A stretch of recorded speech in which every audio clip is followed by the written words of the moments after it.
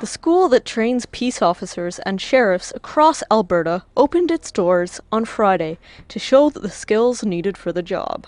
It runs the range from being classroom based, academic, knowledge legal, uh, through to our gymnasiums and tactical and learning uh, uh, the tools of the trade. Up to 100 potential officers can be trained at the college at any given time. Probation officers um, are never doing the same thing one day to the next.